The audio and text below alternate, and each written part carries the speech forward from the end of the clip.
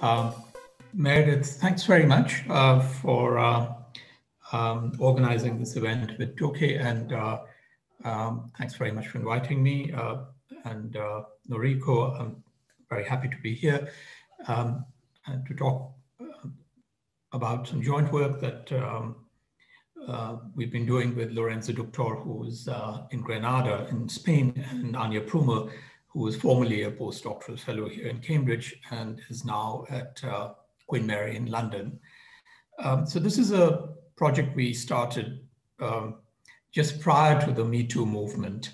And uh, we ran uh, into what, what's been a very important um, development. So um, let me uh, sort of set the stage. Um, so I think this paper and this project is about gender, but many of the issues we are going to uh, bring up here could easily be somehow you know, posed in the context of race and, and probably other dimensions of identity. Uh, but with that general comment, let me uh, get us back to the gender. Um, so as is probably uh, so very widely uh, in, in many parts of the economy, many parts of society, uh, participation of women in different sort of working um, sectors has, has changed and so has performance. There has been a lot of interest in trying to understand, um, you know, uh, issues of performance, especially. Uh, in particular, we are interested in participation in knowledge-intensive sectors. Um, so it could be law or, you know, it could be IT or uh, uh, one of the, uh, in general, it's reasonably easy to, uh, to trace participation rates. Uh, it's a lot more difficult to uh, measure performance because for, for, a variety of reasons, it's generally very difficult to measure performance because one reason is often performance happens at the unit level, at the department level, or at the organization level, and it's hard to unpack and, and sort of assign contributions. Um, so what we were particularly interested in was to understand uh, how performance has, has changed over time. And we wanted to look at, um, uh, we, we, we wanted to look at a context where performance could be measured very concretely. Um, as uh, what we're going to do here is we're going to look at uh, economics research, and we are going to look at the productivity of men and women um, in economics research. Um, now, of course, we all know uh, that in addition to research, uh, equally importantly, um, we, we are engaged in education and in teaching. And uh, there has been uh, very recently also a great deal of research actually in understanding how students evaluate men and women in economics teaching. And uh, so, you know, the question and answer time, I, I, you know, if you have some questions on that, we can get back to that. But this project is going to focus on research productivity. So the first, um, uh, the first thing I wanted to confirm is, as you might have expected, if you look at the universe of economists uh, over a 50 year period from 1970 to 2017, roughly 47 years, roughly 50 years, five decades, you see uh, a, a, picture which is probably familiar from many other um, industrial industry sectors, you know, uh, that the fraction of women who are doing research has gone from under 5% to close to 30%. Okay, so this is um, important to bear in mind, and it's probably in line with you know, what you might have expected. Um, here's the productivity um, uh, picture. So what we're doing here is on the x-axis, I've just plotted time, and on the y-axis, um, I'm doing something very simple. I'm just looking at the number of papers that men and women publish, and what's what is being plotted here is the ratio of the number of papers that women publish on average um, uh, as a fraction of the number of papers men publish on average. And what's interesting here is that, um, so this ratio, uh, just to be sure, uh, you know, we, we understand what this ratio, what this ratio is saying is um, that roughly women are producing um, 0.75. So the ratio is they, they publish roughly three quarters of the number of papers that men do. And interestingly, uh, this ratio has remained fairly stable um, since 1995. It's, it's barely moved, even though the fraction of women has gone up uh, very sharply. Now, one can, of course, measure productivity, you know, in rough, raw numbers, like what we have done here, and one could measure it more in terms of quality weighted. So some research is clearly more important than other research, and one could do something like that. But for the purposes of this talk, I think this is a good starting point. And, and let's just keep this picture in mind. And this should raise questions. It should actually be a source of some concern uh, that so little has changed over the last uh, 25 years in spite of the growth in the fraction of women doing research in economics. So, so this is the point of departure for us. And what we are doing is we are trying to explore in this paper uh, possible reasons why uh, men and women might be um, uh, might the productivity might be so stable in spite of the changes in the fraction of the participation rate. So what we are going to do is there are different avenues, you know, which we could explore. In, in this talk, I'm going to be exploring um, uh, one sort of natural avenue, which is what are the patterns of collaboration that men and women have? Are there measurable and, and robust and stable differences in the patterns of collaboration? In particular, what we mean by collaboration is going to be how men and women co-author. And since co-authoring and collaboration, scientific collaboration is increasingly the norm in economics, uh, this is going to be uh, a natural thing to be looking at. Is it the case that men and women have very different patterns of collaboration? Um, so what sort of, uh, why are we thinking about collaboration? Well, uh, what could be the pathways or the routes through which collaboration could matter? Well, if you have many more collaborators, you probably run into more ideas, uh, you know, while they're still new, uh, compared to someone who has no collaborators at all. Um, similarly, if you have uh, co-authors who also co-author with each other, uh, maybe you know you form cohesive communities and it's easier to maintain high standards, high norms for cooperation. Um, and, and so you might think that having more collaborators might give you access to new ideas uh, faster, which is very important.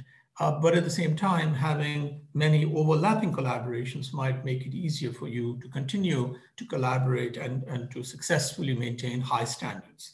So um, uh, finally, of course, uh, we might think that if we work with the same people over and over again, um, there may be again some positive aspects to that because we can uh, have high trust. On the other hand, there may be less originality and creativity and novelty if you keep working with the same people as compared to working with you know, a wider range of co-authors. So with those sort of uh, uh, you know, background considerations, let's look at what the data says and, and, and let's look at, um, let's try and measure these network features. Okay, so I'm going to use um, this um, terminology. I'm going to say degree to refer to the number of co-authors you have. I'm going to say strength of tie to refer to the number of papers that you write with someone. And clustering is simply going to be the number of triangles. This looks a, a little uh, overwhelming. So let me just uh, give you, um, illustrate these three uh, by looking at the networks. So what's a network here? It's going to be um, the authorship ties that uh, people have. So I'm going to be looking at 10 year periods and to make everything very concrete, I'm going to be looking at the networks of three uh, prominent economists. Uh, in fact, they won the Nobel Prize last year for development, uh, experiments in development economics. And so um, let me you know, show you those networks. So, so they won the prize in 2019. It's fair to say they won it because of you know, the work they did in the decade from 2000 to 2009. Uh, that was the, uh, you know, the foundation for the, for the prize. What I have here in this, on this slide is the network of Esther Duflo. Many of you, I'm sure, have heard of her. Um, so what, what is this picture telling us? It's telling us that she had, over the decade, 2000 to 2009, she had 19 co-authors. Uh, so these are the nodes in yellow.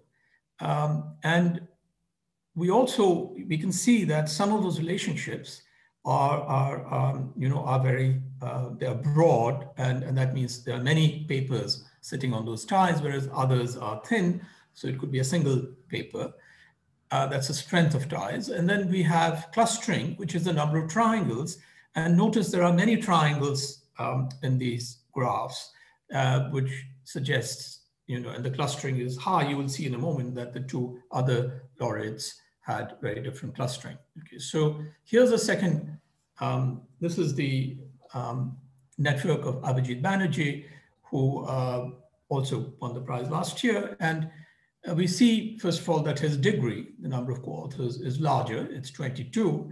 Uh, we also see his clustering is, is uh, a lot smaller. It's 0.09 as against 0.14. Okay, so we're beginning to get a first impression of how, and, and I should probably add that Abhijit and Esther are a couple. In fact, a lot of their work is joint work. Uh, but in spite of that, you can see a, a, a, clear difference in the network that the two have. And this is uh, made more clear when I look at the third uh, person who won the Nobel Prize last year. This is Michael Kremer. Uh, and you see his degree is even higher. In fact, his degree is 34, uh, which is um, or 50% higher than Abhijit Banerjee's degree, and his clustering is negligible. Okay, it's really 0.04. It's less than half of the clustering of Abhijit Banerjee and less than one third of the clustering of Esther Duflo. Okay. Uh, so I think that should give you a first impression of what you might, you know, how you might uh, start thinking about collaboration networks. More generally, you might think about networks between men and women being different. So this sort of a pattern has also been observed, uh, for instance, when you think about um, networks of friendships that men and women have in organizations. So this is not somehow, uh, you know, this has been noted by other researchers. Uh, women tend to have fewer, um, uh, you know, collaborators or um, friends or, you know, colleagues they feel comfortable with. And one could ask, for instance, similar questions about uh, the networks of men and women on Facebook. Okay, and there has been research on that, and you can, you know, after my talk, you can probably take a look at that on, on, on the internet. So, so how particular are these three researchers? The paper essentially tells us that these three features of their networks, uh, the degree, the clustering, and the strength of ties, obtains generally across all uh, over the 50-year period uh, over men and women on average. So this is the picture for the difference in degrees, and we see that the difference in the number of authors has grown between men and women slightly. Um, the strength of ties, we see that women have stronger ties on average, and um, we see that uh, women have higher clustering than men. It's also worth noting that these patterns are fairly stable across time. So this, of course, uh, goes towards some, some ways towards understanding why patterns and productivity differences uh, might be so stable and so, so um, in spite of the increase in the fraction of women. So just to uh, wrap up uh, the discussion, uh, we've also looked at sociology, which, as you might uh, you might expect, is a profession where um, the fraction of women is much higher. So this confirms that point that the fraction of women is close to, you know, half half, uh, which was a lot higher than for, for economics. But in spite of this, uh, sociology has similar uh, issues about productivity. Again, we are looking just at the number of papers, and we see that if anything, the fraction, the relative productivity of men and women has been very stable, but if anything, it's actually fallen off over the last uh, 10 years or so. So again, this is a source of uh, serious concern. Um, we looked at the network um, differences between men and women in sociology. And again, we found very similar differences as in economics. So um, I don't know, how, how am I doing for time, Meredith? I've run out of time, right? Okay, okay. So let me, uh, so I'm, uh, I'm not going to talk much about, um, you know, how we explain it, and maybe it'll come up in the question and answer session. Um, so since I'm out of time, let me leave you with this slide. We have shown that, as in many other knowledge intensive sectors, the share of women um, doing research in economics has grown, uh, uh, and, and, but the productivity difference has remained very stable. And we have tried to present some network-based um, explanations for why uh, one might, uh, how one might think about these differences in, um, in productivity. So I think I'm going to stop because I'm out of time. Thank you very much.